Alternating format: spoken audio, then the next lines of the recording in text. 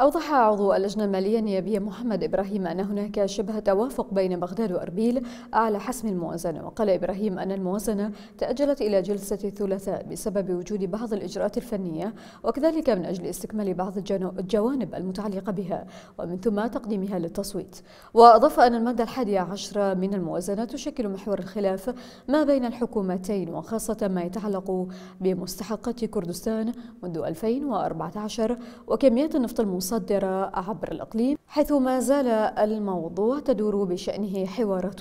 سياسية.